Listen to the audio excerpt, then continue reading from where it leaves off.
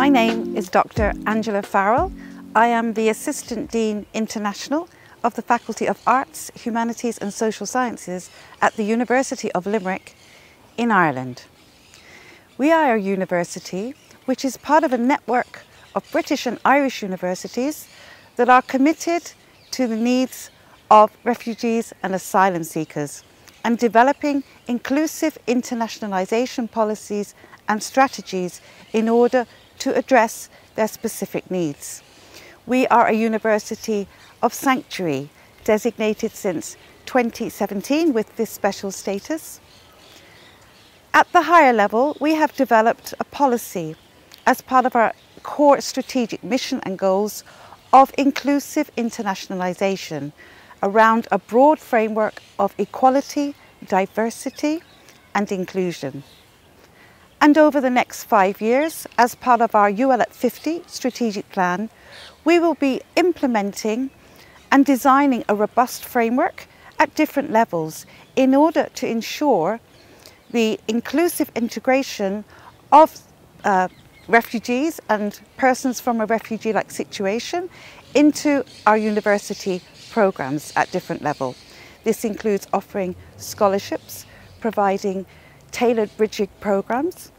One example of which is the very first bridging program we are offering for a group of female judges from Afghanistan who have just escaped the Taliban regime. And they are going to be starting with us a pathway course in order to proceed to an MA in human rights. And they in turn will be instrumental in helping women from their background access a high quality of education going forward. As a university, our strategic policy and goals are aligned to the United Nations SDGs, in particular SDG 4, which is about equitable and a high quality of education for all. And we also want to build partnerships, particularly North-South partnerships. We have partnerships of that kind with universities around the continent of Africa and in Latin America particularly with the Universidad Nacional de Colombia, which is one of our most recent collaborations.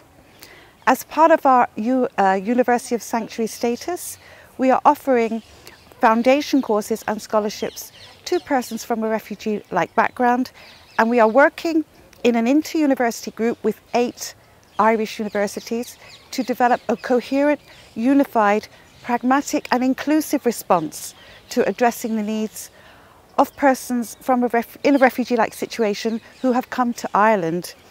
Um, and we very much want to include them in the process and also have a community-based approach. So we are delighted to be here as part of the University uh, Staff Training Programme at the University of Sapienza, which is a historic university with a long tradition of support for persons from disadvantaged backgrounds. And we look very much forward to hearing about the experiences and sharing the insights of the different partners. Thank you.